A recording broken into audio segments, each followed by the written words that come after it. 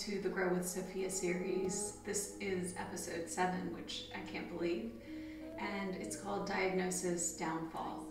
This episode's a little bit different for me in the past, going through memories. I have a huge smile on my face, and it just floods in really happy memories. But this episode is going to condense several years together. Um, for several reasons, it's a difficult thing for me to see um, Sophia get diagnosed with these life limiting illnesses. And at the time, I employed the use of toxic positivity as my way to survive and to get through and to get out of bed every day. And it's not necessarily bad, positivity is a good thing, but what I did was deny all of the sad emotions, the fear, the pain, and I don't regret it because I had to continue to be a mom. I had to be strong for Sophia going through these surgeries or um, different tests that she had to experience. And so I did what I had to do. I probably didn't unleash those repressed emotions until 2016 when I became a public advocate. And I'll save that all for another episode down the road. It's hard to revisit these memories that a lot of them I blocked out.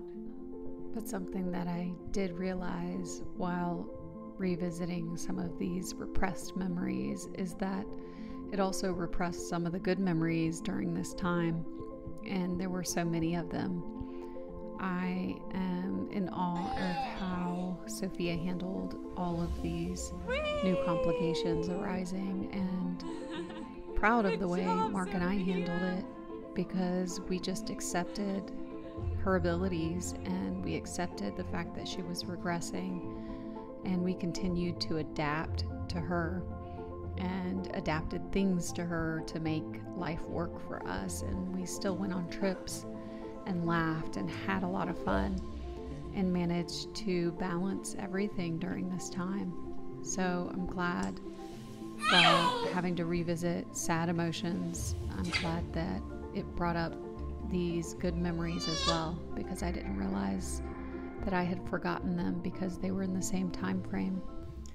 So, I will start this episode answering the most commonly asked question, and that is what is Sophia's diagnosis? But first, I want to mention that when she was born, these conditions did not present themselves.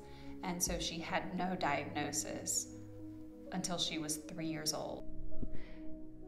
And none of these conditions were caused by anything other than a spontaneous genetic change, and they were not hereditary. Then the first diagnosis she received was the diagnosis of an immune deficiency. It was rare and didn't have a name because it uh, she didn't have any B cells, and it affected other parts of her immune system.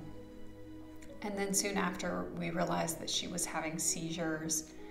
And at five years old, we had a name for why her skills were regressing, and that was Rett syndrome. And basically, Rett syndrome doesn't typically begin to present itself until two years old, and slowly your child loses the skills that they gained. They're they're developing typically, and then all of a sudden that changes and their ability to use their hands. And for Sophia, she started to lose the ability to hold her head up.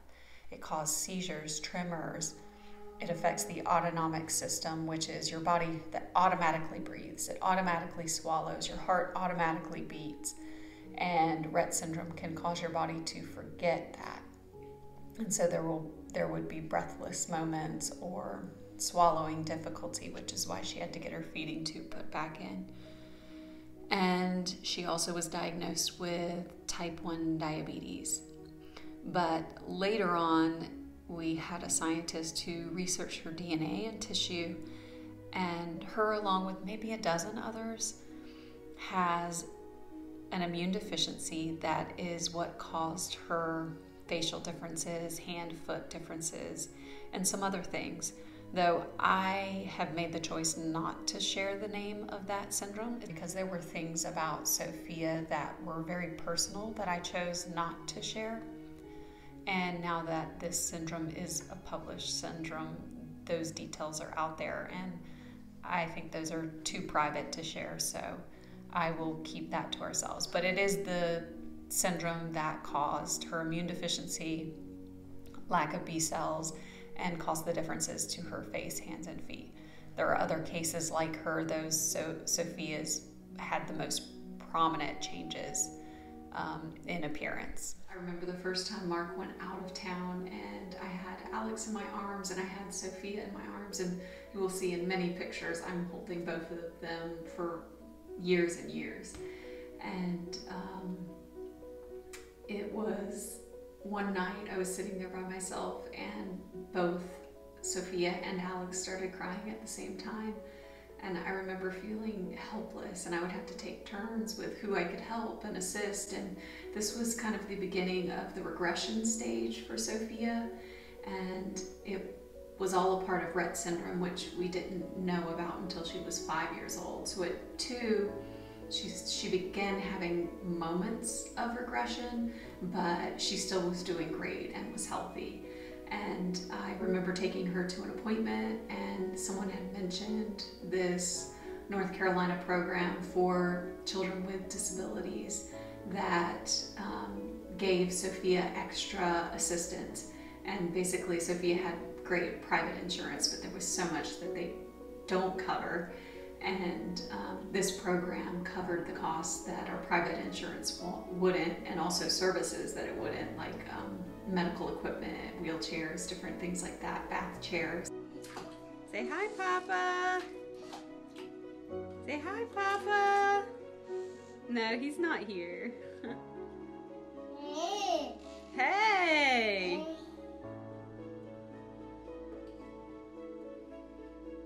The most important part of this program was that it provided in-home nursing assistance and it allowed us to set up our home in a medical type way so that Sophia could have everything she needed at home and get the care that she needed at home.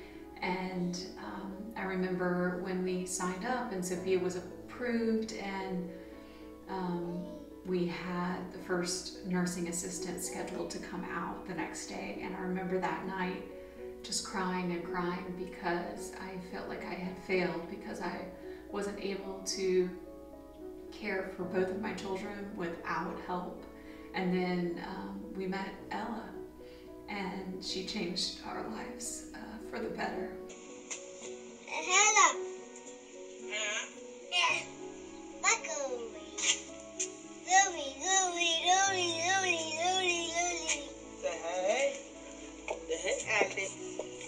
Sophia. Hey.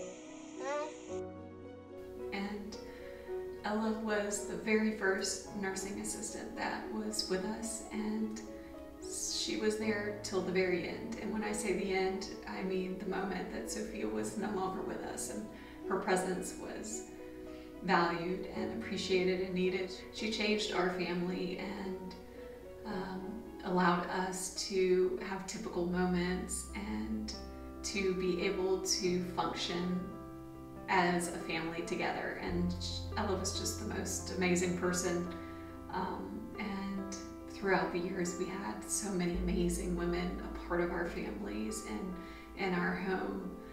And it just made a really huge difference in our lives. And as Sophia was diagnosed with certain medical conditions like her immune deficiency, you know, taking her out wasn't possible without risking her life. So we were able to do things and take our son out and take him to the park and know that Sophia was being cared for and played with at home.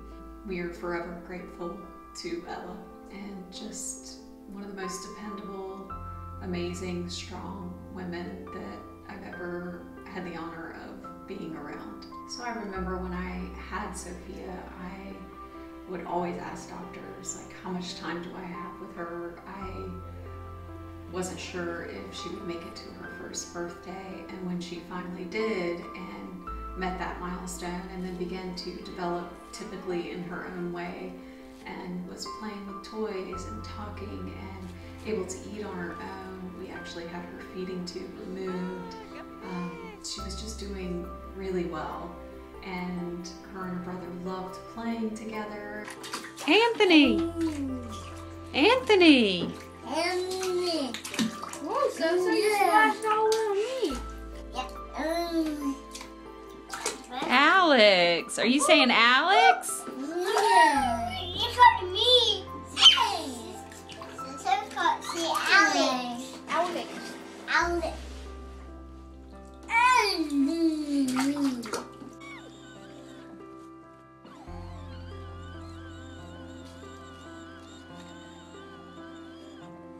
let's go forward. I, I hear Sophia. How's Sophia dingies? What's Alex doing? Uh, and, and Sophia turned three years old and she had a sweet little birthday celebration. And we had no idea that this birthday would mark the last um, of her life without medical complications and different medical issues every single year added on. It wasn't until she was three years old that she was diagnosed with her immune deficiency. And I remember she had fevers for five months long. And I kept taking her to different specialists, doctor's appointments, tests. And that's when I realized I really have to become a forceful advocate for my daughter. And I said she needs to be in the hospital, she needs tests run. I can't keep waiting week to week for different specialists. And this isn't typical for her to have fevers nonstop for this long. And so she had really great doctors, and they admitted her to the hospital and began running tests. And I remember at one point saying to a doctor, Hey, is it possible she has an immune deficiency? I had been searching and researching just to try to figure things out. And they said, That's highly unlikely. That's so rare. And I said, You know, I really think we should test anyway. Sophia is rare. And um, they did, and it turns out she had an immune deficiency. It's just one of those memories and one of those moments that shifted me. And I said, You know, I, I have to be a bit more forceful and I have to advocate for my daughter. And from that point on, things kind of snowballed, and we started to notice that when she would sit up, she would start to fall back. Uh, we noticed a regression in her ability to use her hands and play with things, and she began to drop her head occasionally. Hey, put.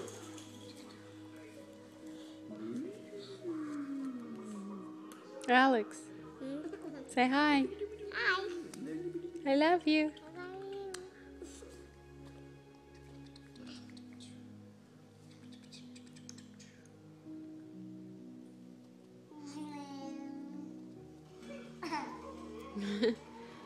You laughing, Sophia?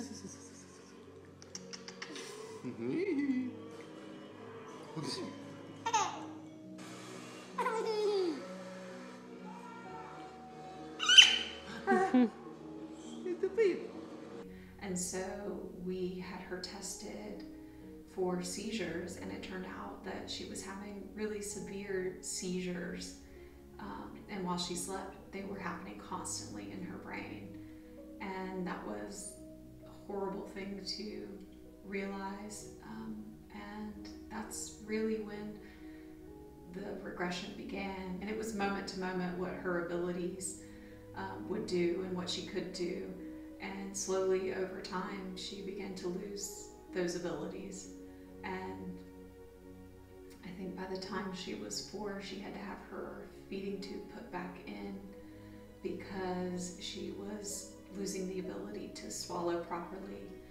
And it was really difficult to see. It was scary, but we continued to do therapies and we didn't want her to lose the skills that she had developed um, at the very least. And we thought, you know, it was still possible to continue the therapies to strengthen her, to strengthen her neck. We tried so hard, and little did we know that it wasn't going to be possible because she had a condition that would slowly deteriorate all of her abilities that she had gained. when Sophia was four, she was having a lot of health issues and wasn't able to hold her food down. And you can see in the images how thin she was. And again, I had to advocate hard and push for her to be admitted into the hospital because we were going from specialist to specialist, and within each appointment are weeks. And my child was going through a lot, and she was losing weight and she was struggling. She also had several surgeries during this time to help relieve her pain. And as I've mentioned before, the only surgeries that she would have were to relieve pain and to make her function better so that life could be more comfortable for her. And it was a difficult time to watch her go through that. But it was very important to me to accept her as she was. And so I pushed away any fears or sadness that I had that she was changing and needing more help. And, in the good moments, we had fun and continued to do the things that we loved, like dance parties and celebrations and spend time with family. And she continued to be joyful and continued to laugh and have fun and cuddle and be sweet. And she was handling what was happening to her, although it was frustrating and scary for her. Um, she would live in the moment. Many of those years just felt like I was trying to survive and be the strongest that I could be. And when you are the main caregiver, you push your emotions aside to help your child. As times got difficult and time went on, we realized that we were likely going to lose her. She had the immune deficiency, which was life limiting.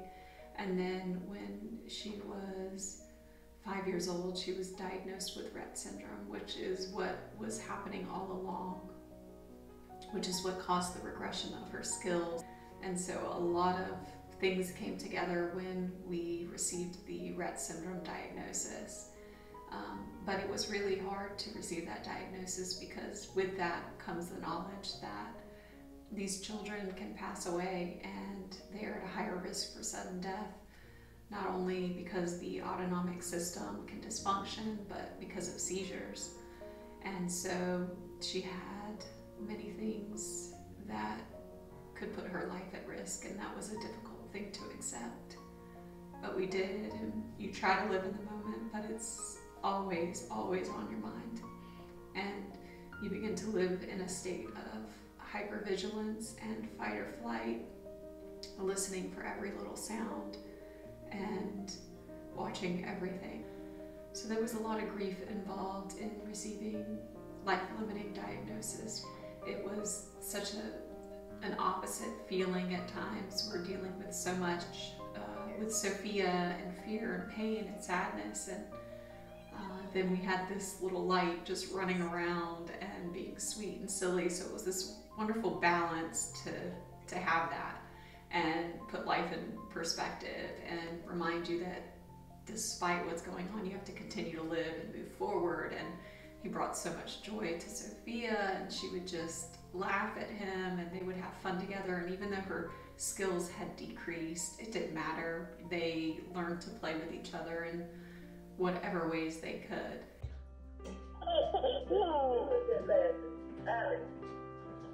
Say hi. Say hi to the camera.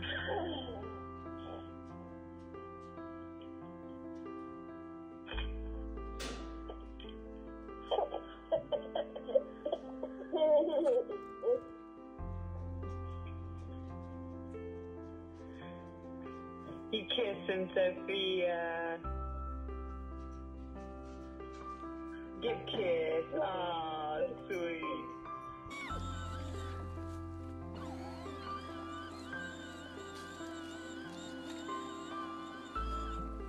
Let's go forward. But when we decided we wanted to have Alex, Sophie was doing really well, and we just thought her challenges would be physical ones. And so we wanted her to have a brother. But when we thought about having another child, it was a very different thought process because at that point, I knew at some point I am going to lose my daughter. And I don't want Alex to be alone sister or a brother. And so we decided to expand our family and we had Lila and completed our family. And it brought a lot of joy to our family and as promised and demanded, Lila will be born in the next episode. And that will be hers to share. Blow Daddy a kiss. Good.